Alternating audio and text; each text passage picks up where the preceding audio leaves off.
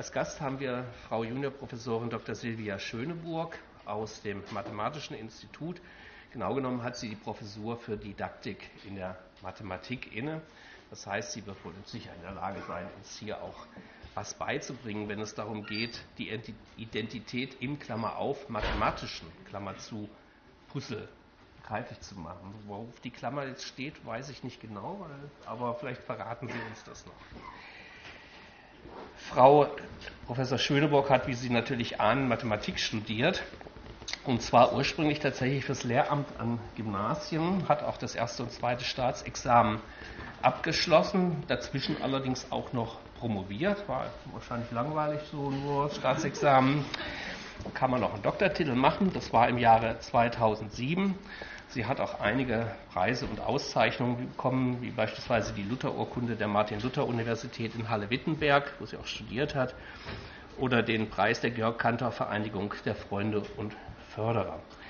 Sie hat neben ihren Aktivitäten, die sie natürlich an der Hochschule hat, noch eine Reihe weitere Interessen, die auch was mit Mathematik zu tun haben. Alle anderen habe ich nicht verraten gefunden im Internet. Äh, dazu gehört, das finde ich sehr interessant, die Inspirata, also das Zentrum für mathematisch-naturwissenschaftliche Bildung. Das ist so eine Art Museum zum Anfassen, jetzt auf der alten Messe lokalisiert, offenbar schon länger. Schande über mein Haupt, dass ich das immer noch woanders verortet hatte, obwohl es schon länger dort auf der alten Messe ist.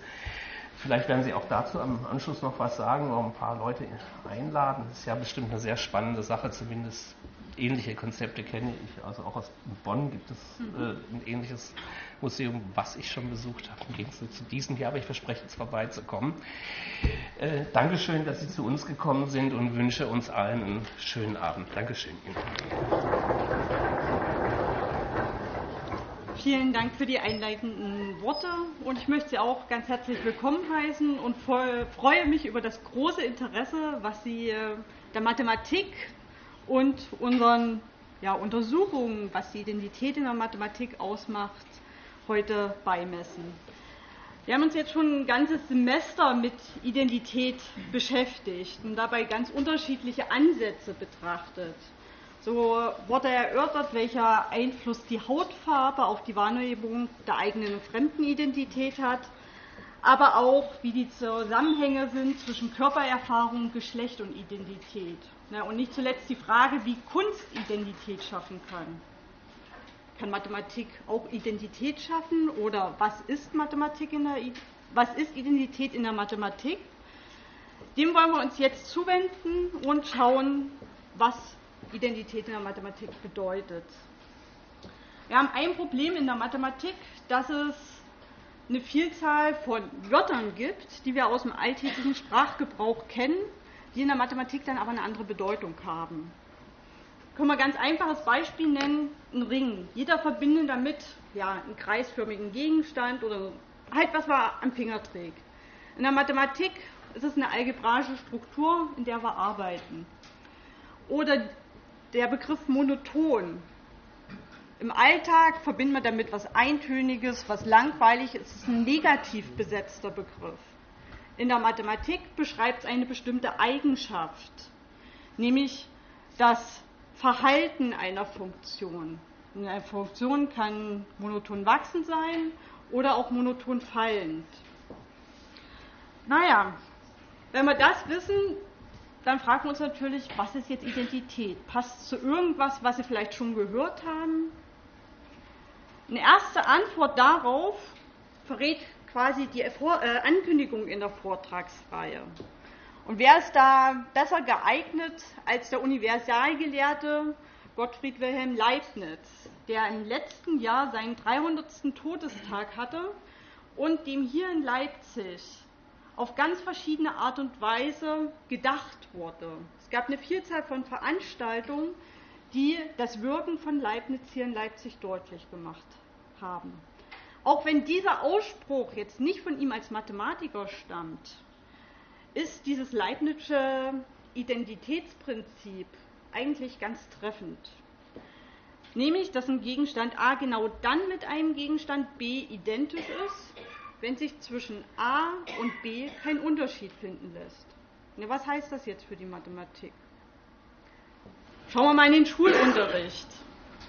Da bedeutet Identität sowas wie ist gleich oder wir gehen noch eine Stufe höher und verwenden dieses identisch Gleichzeichen.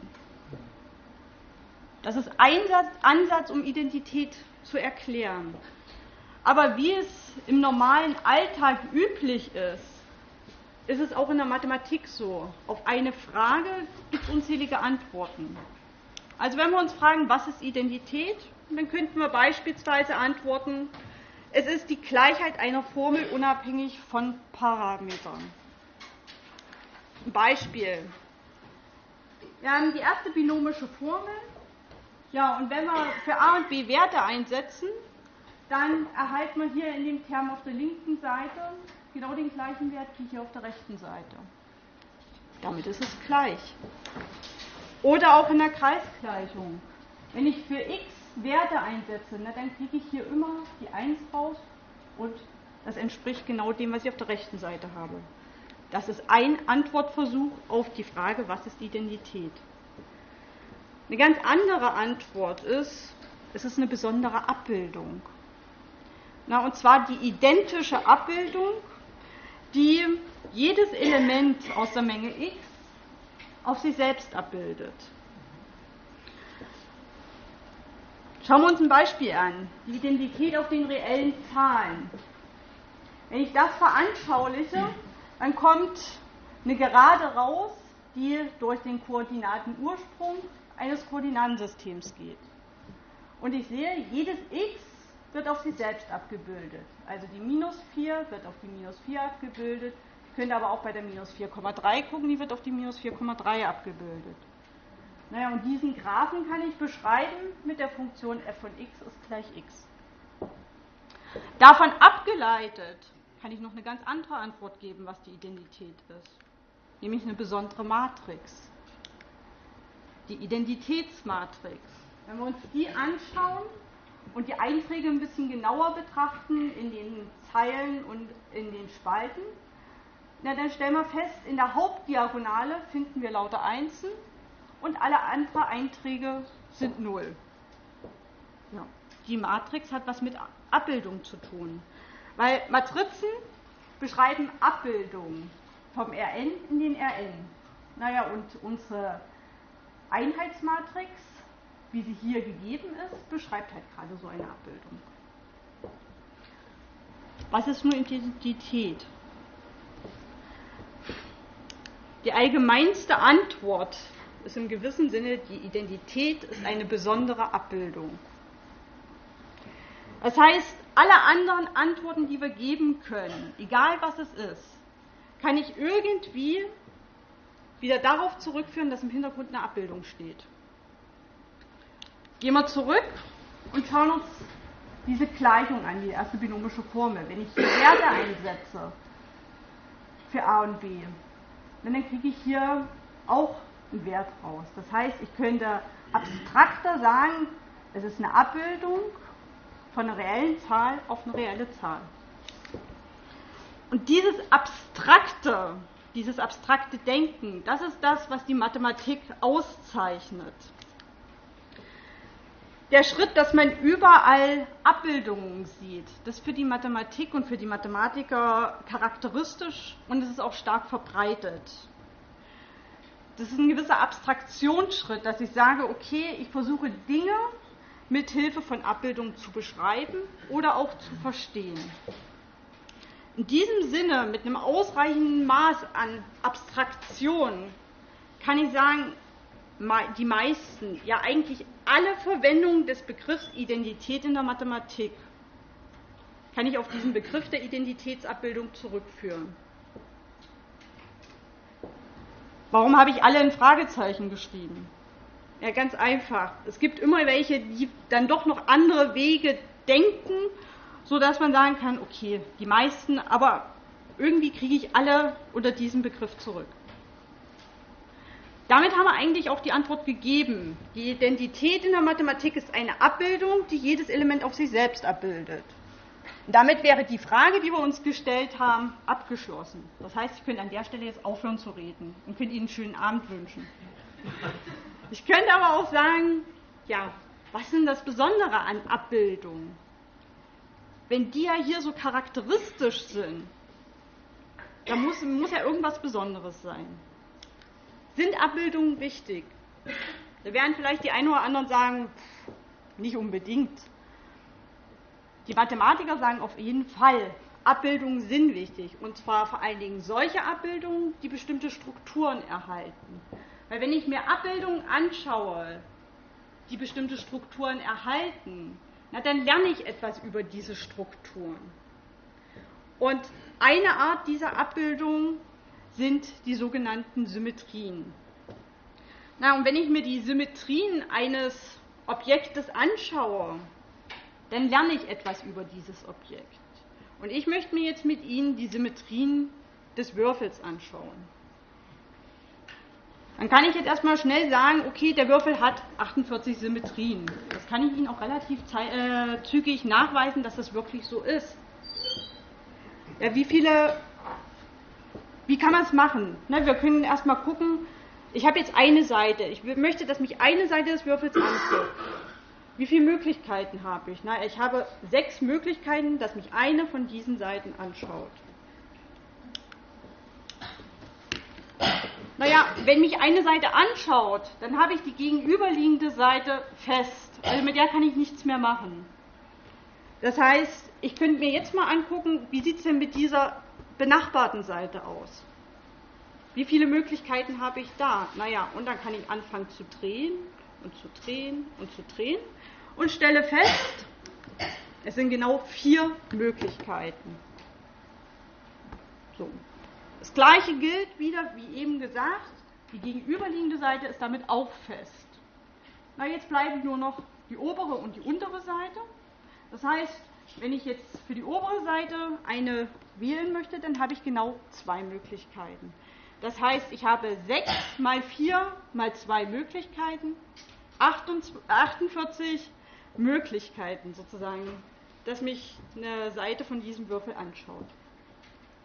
24 davon kann ich durch Drehungen erreichen.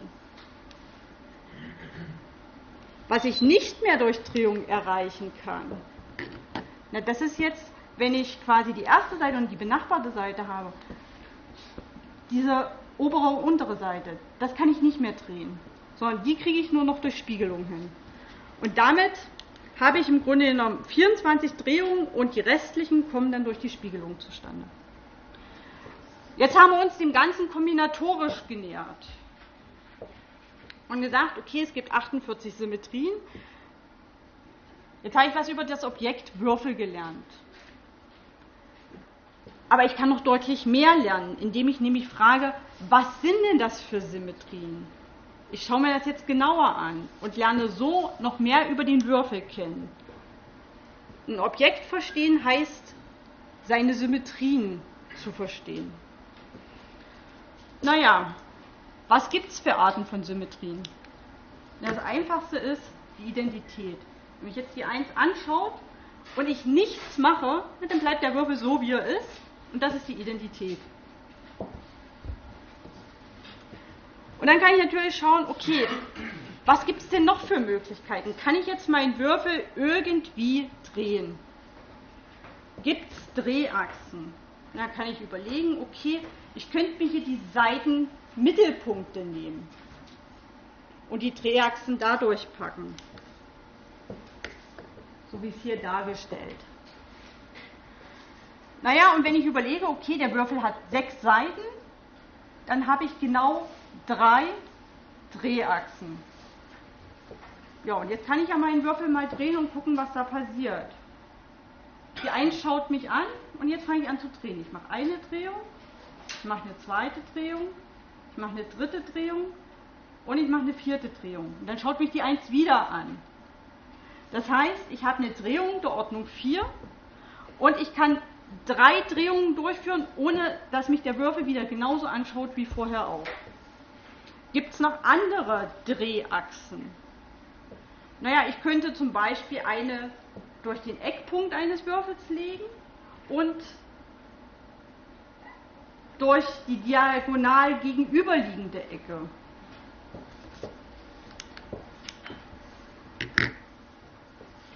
so wie hier dargestellt. Ja, wie viel habe ich denn da?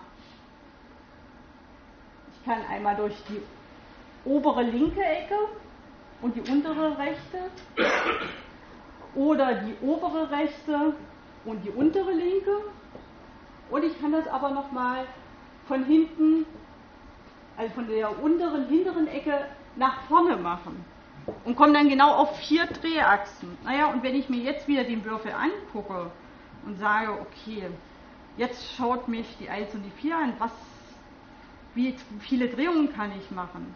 Dann stelle ich fest, okay, 1, 2 und 3. Dann guckt mich der Würfel wieder genauso an. Das heißt, ich habe hier eine Drehung der Ordnung 3 und kann zwei Drehungen machen, damit ich eine andere Abbildung erreiche. Naja, gibt es noch mehr Drehachsen? Ich könnte jetzt beispielsweise auch sagen, okay, ich lege die Drehachse durch die Kanten. Ich nehme die Mittelpunkte der gegenüberliegenden Kanten und das wäre auch eine Drehachse. Na, wie viele Kanten habe ich denn beim Würfel? Wenn ich die zähle, komme ich genau auf zwölf Kanten. Das heißt, über gegenüberliegend, ich habe sechs Drehachsen.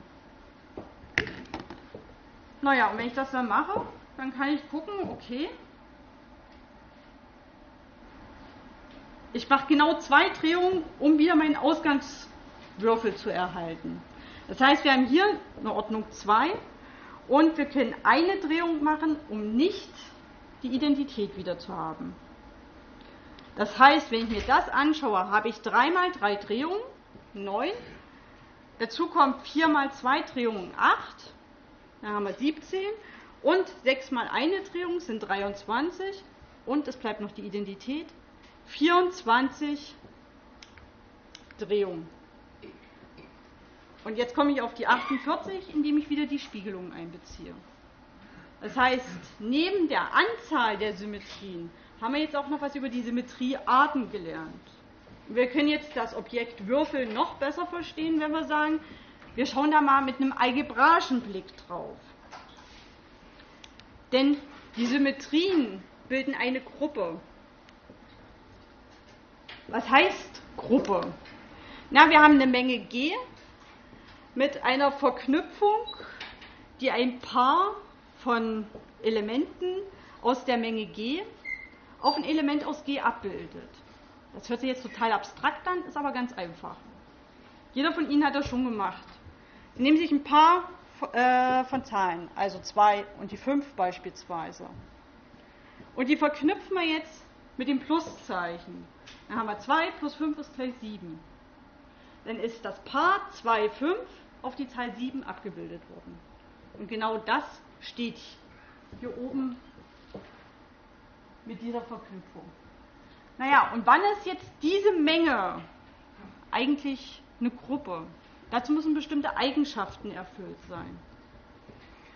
Die erste ist, dass es ein Element in dieser Menge G gibt, nämlich die Identität, sodass die Identität verknüpft mit A das ist ein Element aus der Menge G, genau dasselbe ist wie A verknüpft mit der Identität, nämlich genau dieses Element A. Nehmen wir uns ein Beispiel, ähm, die ganzen Zahlen mit der Verknüpfung plus. Dann schauen wir uns an, was ist die Identität? Die 0. Weil wenn ich 0 plus a mache, da ist, ist es dasselbe, als wenn ich a plus 0 rechne. Und das ist genau dieses a, nämlich dieses Element aus der Gruppe. Zu jedem a aus g gibt es ein a hoch minus 1 aus g. Mit a verknüpft a hoch minus 1. Das ist genau dasselbe wie a hoch minus 1 verknüpft mit a. Und das ist gleich die Identität. Da bleiben wir mal bei unseren ganzen Zahlen. Und überlegen wir mal, okay, was ist dieses inverse Element? Es ist minus a, weil ich habe gesagt, hier a plus minus a ist dasselbe wie minus a plus a. nehme ich gleich 0. Und vorhin habe ich gezeigt, 0 ist die Identität. Naja, und wenn ich jetzt einfach beliebige Zahlen aus den ganzen Zahlen einsetze und sage a plus in Klammern b plus c, dann ist es genau dasselbe, wie wenn ich sage a plus b in Klammern plus c. Und das hat jeder in der fünften Klasse als Gesetz kennengelernt. Damit kann ich sagen, haben wir ganz nebenbei festgestellt, dass die ganzen Zahlen mit der Verknüpfung plus eine Gruppe bilden. Und die Identität ist jetzt die Null. Ein anderes Beispiel wären die rationalen Zahlen außer der Null und der Verknüpfung dem Malzeichen. Was ist denn die Identität? Ja, die Identität ist 1, weil 1 mal a ist dasselbe wie a mal 1, nämlich genau a für alle a aus dem Bereich der rationalen Zahlen. Und mein inverses Element ist 1 durch a.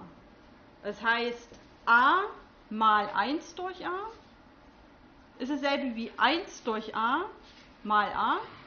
Und das ist wieder 1 und da haben wir gerade gesagt, das ist die Identität. Und das Assoziativgesetz kann ich auch ohne weiteres auf diese Art zeigen. So, jetzt haben wir gesagt, Symmetrien bilden eine Gruppe. Und wir wollten ja den Würfel ein bisschen genauer betrachten. Na, auch die Menge der Symmetrien mit der Verknüpfung hintereinander Ausführung, also dass ich bestimmte Züge hintereinander mache, ist eine Gruppe. Was ist denn meine Identität? Na, meine Identität ist, wenn ich mir die 1 hierher halte, das Nichtstun. Ich lasse den Würfel so, dann bleibt, dann ist das meine Identität, dann ist das genau der Würfel. Naja, und die Identität verknüpft mit einer Drehung ist genau dasselbe, als wenn ich erst die Verdrehung durchführe, dann die, den Würfel so lasse und demzufolge genau dieses A rausbekomme. Naja, und der zweite Punkt, was ist denn das Inverse? Naja, ich kann anfangen und sagen, okay, ich drehe den Würfel nach oben und dann mache ich das wieder rückgängig. Und das ist genau dasselbe, als wenn ich sage, okay, ich drehe ihn erst nach unten und drehe ihn dann nach oben. Auch da kriege ich wieder meine Identität raus. Das Assoziativgesetz lässt sich ähnlich zeigen. Und damit kann ich sagen, die Menge der Symmetrien mit der Verknüpfung hintereinander Ausführung ist eine Gruppe. Aber eine gewisse Vorsicht ist geboten. Im Allgemeinen ist A verknüpft mit B nicht dasselbe wie B verknüpft mit A. Das heißt, wenn ich jetzt beispielsweise die Würfel, er schaut mich mit der 1 an, erst nach oben drehe und dann nach links, dann guckt mich die 2 an. Das ist nicht dasselbe, als wenn ich erst nach links und dann nach oben mache, dann guckt mich die 4 an.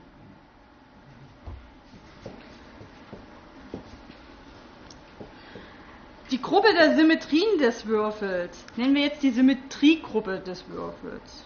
Und die wollen wir uns auch noch mal ein bisschen genauer anschauen. Naja, wie viele Raumdiagonalen haben wir denn beim Würfel?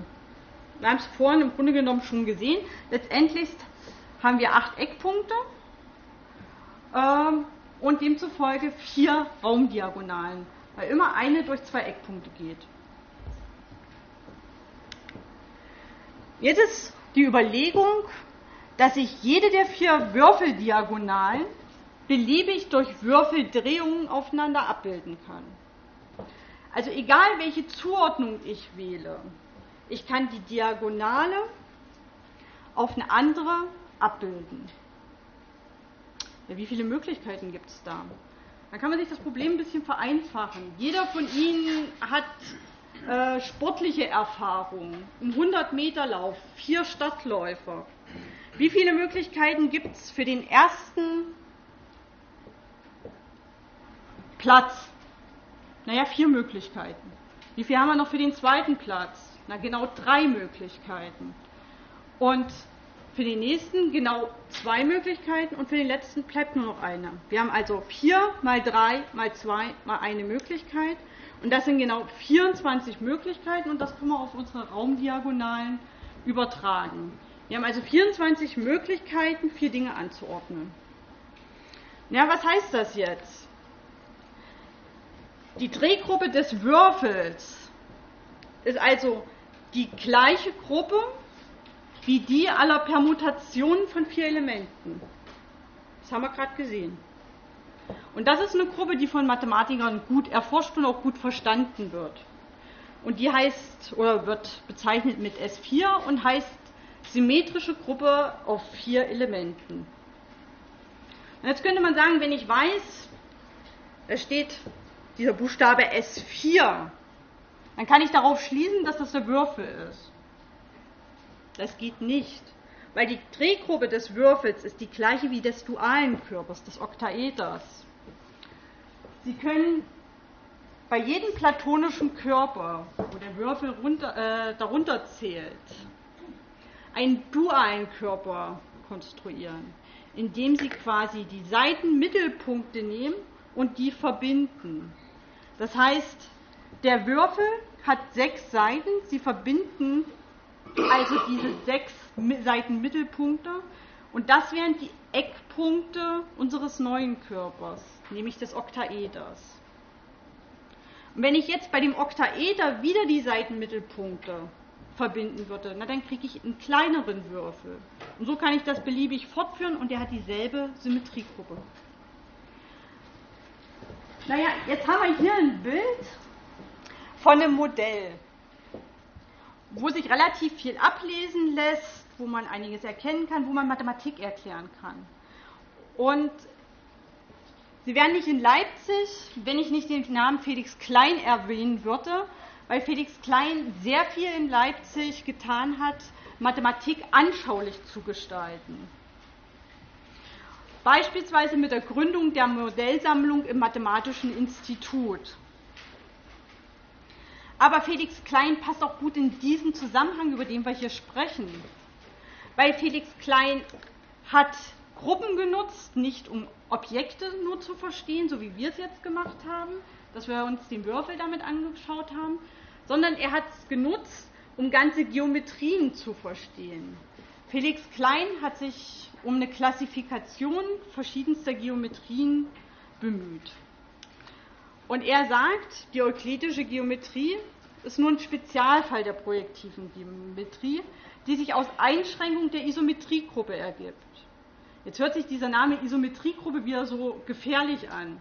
Aber das ist nichts anderes als das, was wir gerade über diese Symmetriegruppe gesagt haben, nur das, was jetzt in den Raum gepackt haben. Also das ist das räumliche Analogon dazu.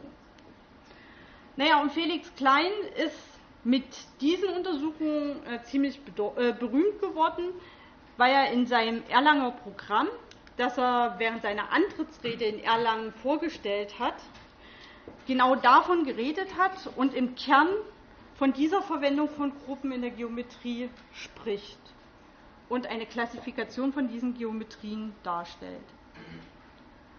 Na, jetzt sind wir bei einem bedeutenden Mathematiker. Und dann sollte man sich natürlich fragen, was ist denn die Identität eines Mathematikers? Welche typischen Charaktereigenschaften machen einen Mathematiker aus. Naja, und wenn Sie das mal googeln, dann sehen Sie Vor einige Vorurteile, wie staubtrocken und humorlos. Das kann ich auf keinen Fall bestätigen. Rational und bodenständig. Ja, das sind schon ziemlich viele. Wenn Sie mal durchs Mathematische Institut schauen, dann werden Sie feststellen, die meisten sind wirklich männlich. Es gibt ganz wenige Mathematikerinnen bei uns. Und nachdem ich das gelesen habe, habe ich mal genauer geguckt, ob die wirklich alle Karo hinten tragen. Nicht alle, aber einige schon. Verschroben, naja, das gibt, glaube ich, in jeder Disziplin, dass es hier und da einen verschrobenen ähm, Wissenschaftler gibt. Sie reden nur in Formeln. Auch das, da gibt es einige, die wirklich nur mit Formeln reden, aber es gibt so ganz, auch ganz normale, sich alt, in alltäglicher Sprache artikulierende Mathematiker. Naja, und weltfremd, das kann auch jeder sein. Auf jeden Fall würde ich Ihnen empfehlen, wenn Sie nachher nach Hause gehen, schauen Sie mal in der Straßenbahn, ob Sie einen Menschen finden, wo das zutrifft, und dann fragen Sie ihn, ob er ein Mathematiker ist. ich habe aus diesem Grund einen anderen Ansatz gewählt. Und zwar habe ich gesagt, die Mathematiker äh, zeichnet Folgendes aus, dass sie sich nämlich mit dem Spiel- und Knobeltrieb eines Menschen viel, viel intensiver auseinandersetzen. Mathematiker untersuchen Spiele und schauen, welche Mathematik dahinter steckt. Na, dann lassen Sie uns doch mal zu einem Spiel kommen. Und zwar das berühmte Schiebepuzzle. Das kennen vielleicht die eine oder andere noch von Ihnen aus ihrer Kindheit, von ihren Enkeln, wie auch immer.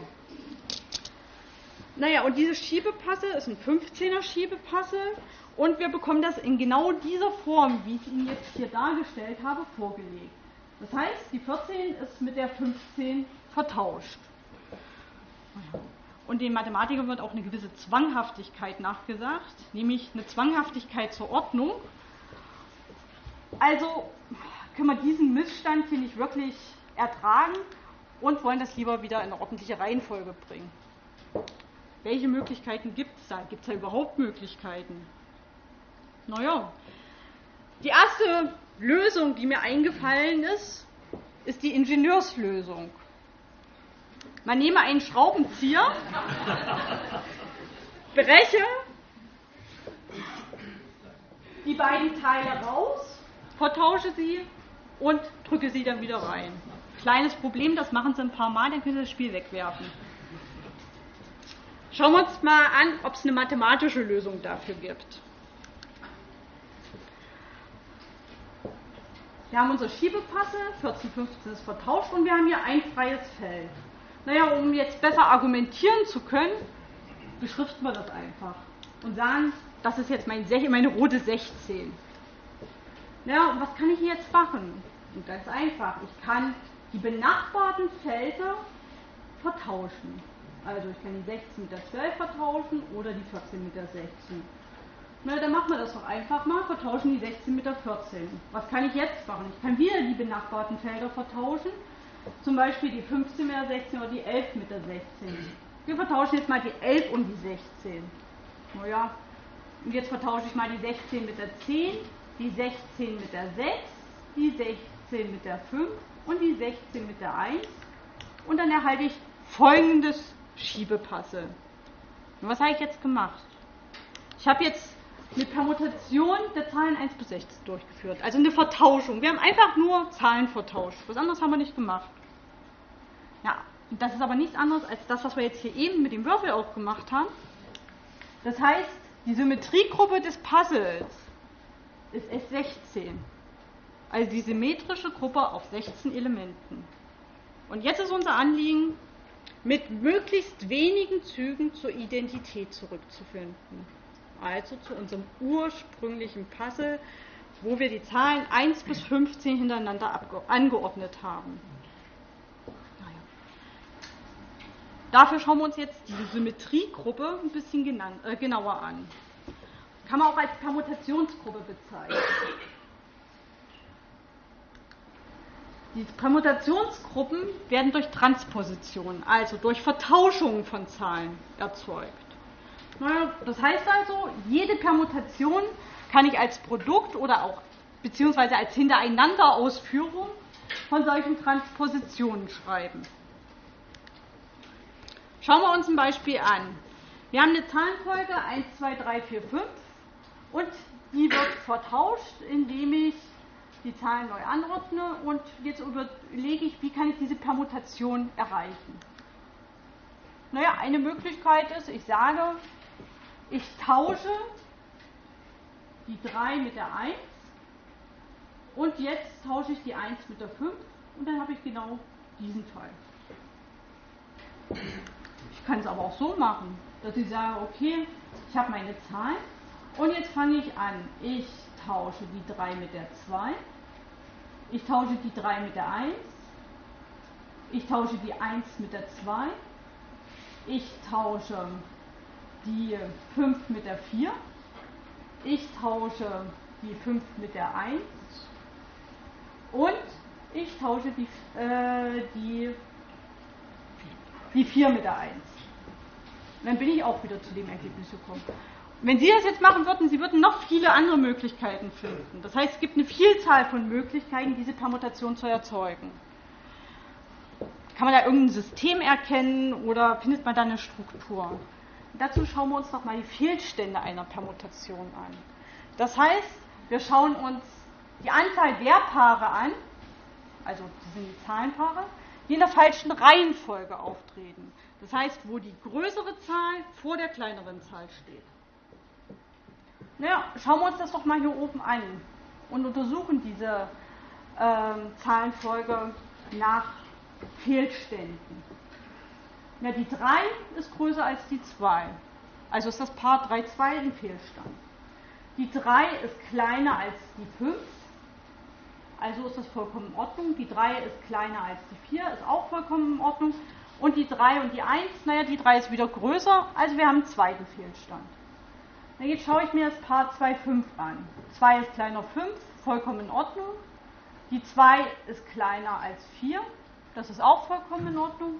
Naja, und bei dem Paar 2, 1, da ist die 2 wieder größer als die 1. Das heißt, das ist auch wieder ein Fehlstand. Und jetzt schaue ich mir die 5 an. Die 5 und die 4. So ist die 5 wieder größer. Das heißt, ich habe einen erneuten Fehlstand und bei der 5 und der 1 ist die 5 auch wieder größer. Ich habe noch einen Fehlstand. Da haben wir jetzt schon 5 Fehlstände. Naja, und jetzt die 4 und die 1. 4 ist auch wieder größer als die 1, also mein sechster Fehlstand. Kann ich jetzt irgendwas über diese Fehlstände noch genaueres aussagen? Naja, eine Transposition von solchen benachbarten Zahlen ändert die Anzahl der Fehlstände um plus minus 1. Gucken wir nochmal zu diesem Beispiel zurück. Wenn ich jetzt die 2 und die 3 vertausche, naja, dann ist die 2 kleiner als die 3, das heißt, ich habe da keinen Fehlstand mehr, das ist einer weniger. Und jetzt könnten wir es wieder durchzählen und dann kommen wir wirklich auf einen weniger, also nur 5. Würde ich jetzt die 5 mit der 2 vertauschen, naja, dann haben wir einen Fehlstand mehr. Also ist genau das, was wir gerade gesagt haben.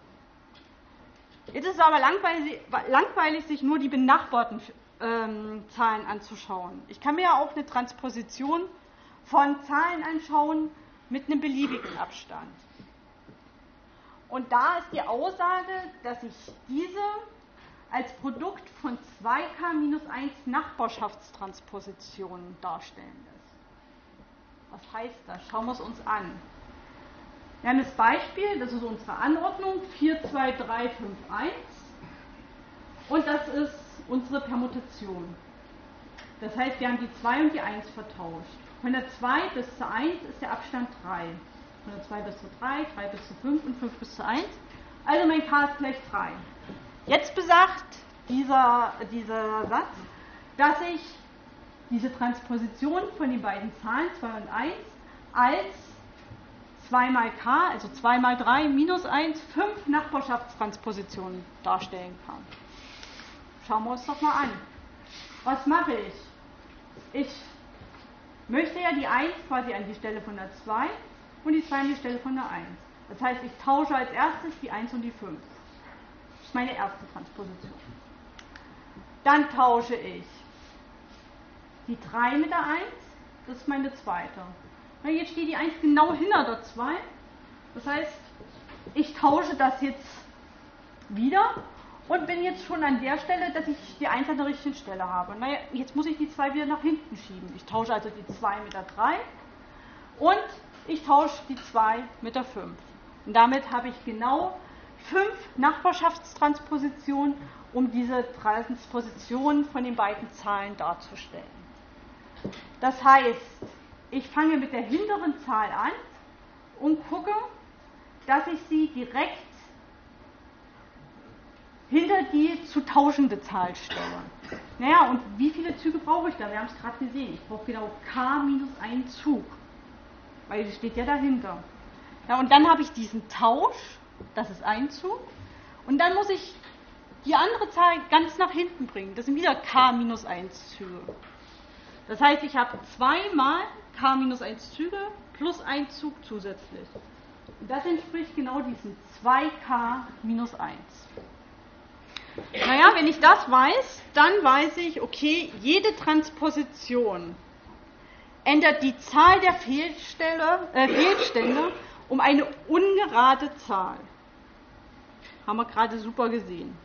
Naja, und dann gibt es folgende Aussage. Die äh, Permutation heißt gerade, wenn die Anzahl der Fehlstände gerade ist. Ansonsten ist sie ungerade. Naja, jetzt haben wir aber gesehen, eine Permutation wird durch Transposition erzeugt. Und wenn ich jetzt eine, wenn ich jetzt anfange, ich habe einen Fehlstand, und dann nehme ich eine ungerade Zahl dazu, ja, dann habe ich zwei Fehlstände. Und dann nehme ich noch eine ungerade Zahl dazu, dann habe ich drei. Und immer so, äh, immer so weiter. Und dann stelle ich halt fest, ähm, dass wenn ich eine gerade Anzahl an Transpositionen habe, dass dann die Anzahl der Fehlstände gerade ist und die Permutation auch gerade ist. Na, ansonsten nenne ich das Ganze ungerade. Und das ist entscheidend für unsere Würfelpasse. Schauen wir uns das nochmal an. Das ist der Ausgangspunkt. Wir haben die 14, 15 verkehrt und wir wollen das in diese richtige Lösung bekommen. Naja, wir wissen, dass das Schiebepuzzle in einer ungeraden Anzahl von Zügen gelöst werden muss. Wir haben hier eine, einen Fehlstand. Ja, jetzt schauen wir uns nochmal an, was, was die 16 eigentlich macht. Das möchte ich haben. Das heißt, die 16 muss wieder hier unten stehen. Und das kann ich nur erreichen, wenn ich genauso viele Züge nach rechts wie nach links gehe. Und nach oben wie nach unten. Ansonsten kriege ich das nicht hin. Und wenn ich genauso viele Züge nach oben wie nach unten gehe oder nach links wie nach rechts, ja, dann habe ich eine gerade Anzahl an Zügen. Und damit ist es eigentlich schon ein Widerspruch. Und ich kann quasi dieses Puzzle nicht lösen. Denn eine gerade Anzahl an Transpositionen wird eine gerade Anzahl ähm, der Fehlstände haben. Und so haben wir das Problem, dass es so nicht lösbar ist und ich letztendlich wieder auf meine Ingenieurslösung zurückkommen muss und leider die Zahlen rausbrechen muss. Also sollten Sie so ein Puzzle bekommen, haben Sie keine Chance, das auf diese Art zurückzuführen. Natürlich gibt es jetzt eine Menge weitere Fragen. Wenn wir uns das eben besprochene Puzzle anschauen und das, wie es häufig ausgeliefert wird. Naja, kann ich jetzt sagen, dass ich, egal welche Konfiguration ich habe, eine dieser beiden auf jeden Fall erreichen kann? Und das kann man ganz klar mit Ja beantworten. Naja, und in der Mathematik ist es üblich, dass man quasi Hausaufgaben gibt Übungsaufgaben. Deswegen würde ich Ihnen das gerne überlassen, zu zeigen, dass es ausreicht, nur Verschiebungen in nebenstehender Weise durchzuführen. Das kriegen Sie mit dem Wissen hin, was wir jetzt gerade gemacht haben. Aber ich gebe Ihnen noch einen kleinen Hinweis. Und zwar, was machen wir hier? Na, wir schauen uns unserer roten Zahl an oder den Weg der Züge.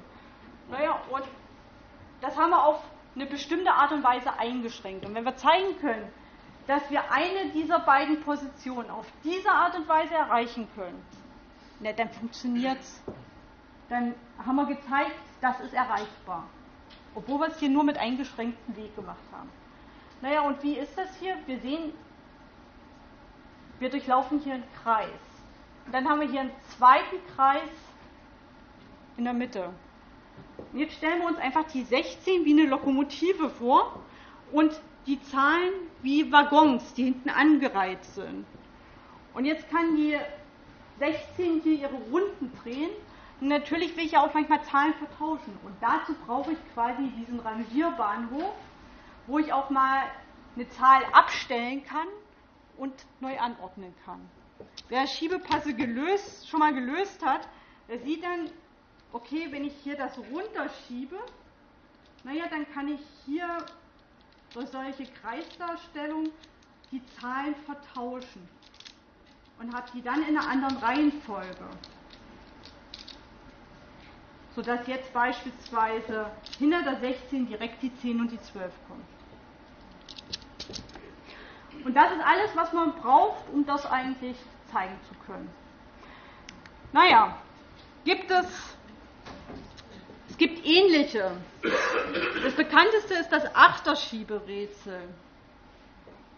Das für die, die ein bisschen mehr suchen und rätseln wollen, die sollten lieber das 31er Schieberätsel verwenden, das dauert ein bisschen länger.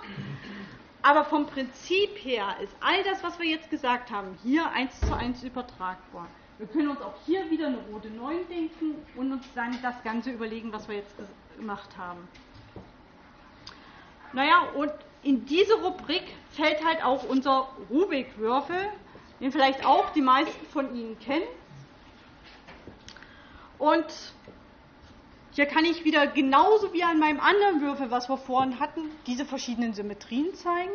Aber es gibt hier noch weitere Transformationen, weil ich habe ja hier noch diese kleinen Würfel innen drinne, die ich innerhalb des Objektes verändern kann. Naja, und diese Transformationen bilden wieder eine Gruppe. Und wenn ich die Identität haben will, dann tue ich wieder einfach nichts. Dann könnte man jetzt ketzerisch sagen, Identität Suchen ist nichts tun. Was sind äh, erlaubte Transformationen? Naja, jeder, der einen Rubikwürfel schon mal in der Hand hatte, weiß, ich kann das auf einer Ebene, auf einer Scheibe drehen. Ich kann nicht innerhalb irgendwelche Verrenkungen machen.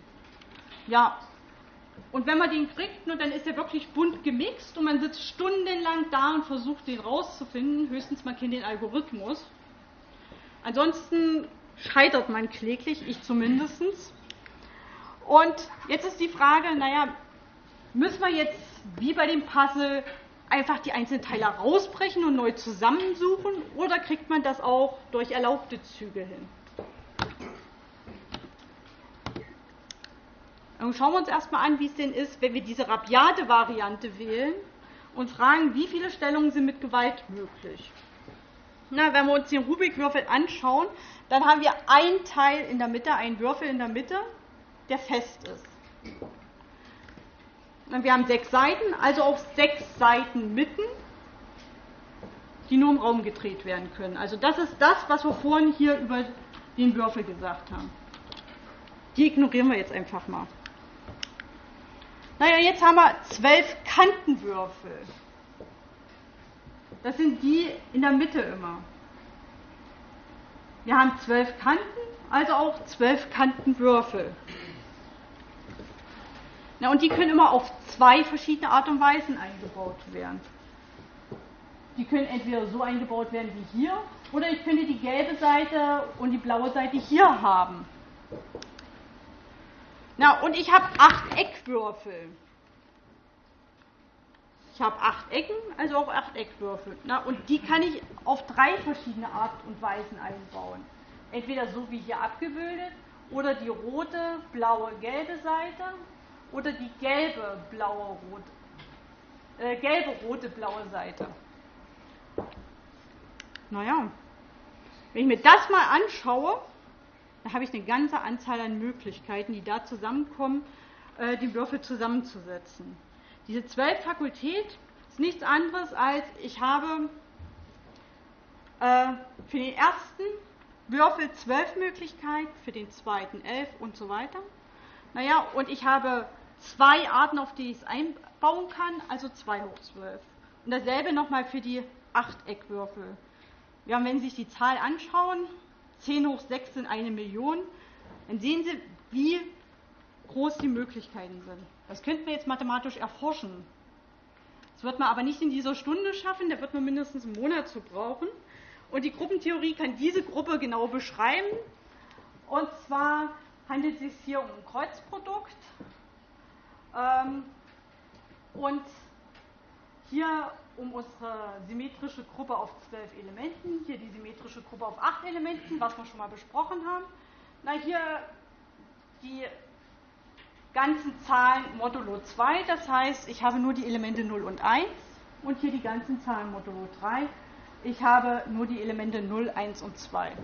Und das entspricht im Grunde genommen genau diesen zwei Arten und diesen drei Arten. Naja, und jetzt werden die miteinander verbunden und das kann ich untersuchen und das führt zu weit. Ähm, ich kann das noch intensiver betreiben. Ich kann Sie auch noch ein ganzes Semester beschäftigen damit. Wenn wir uns jetzt die Gruppe der legalen Züge anschauen, dann kann ich nämlich zeigen, dass die durch alle legalen Züge entstandene Gruppe genau diese Darstellung hat. Und Sie sehen schon, die sieht schon wieder anders aus als eben das.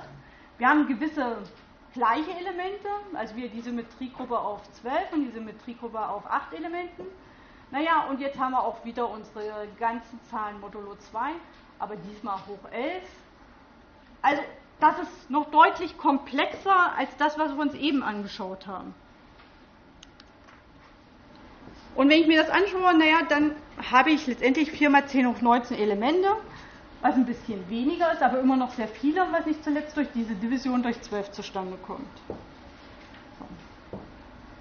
Wie viele Züge brauche ich denn jetzt, um zur Identität zurückzukommen? Wer von Ihnen hat denn schon mal so einen Rubik-Würfel gelöst? Wie lange haben Sie denn dafür gebraucht? Also ich brauche unendlich viele Züge, weil ich es gar nicht. Aber der maximale Abstand, und das kann man hier zeigen, zur Identität beträgt 26. Ich brauche also 26 Züge, um wieder zur Identität zurückzukommen. Das ist nicht viel. Und ich hoffe, ich habe Ihnen damit einen kleinen Einblick in die Identität und die Auseinandersetzung mit der Identität in der Mathematik gegeben und freue mich, dass Sie so aufmerksam zugehört haben.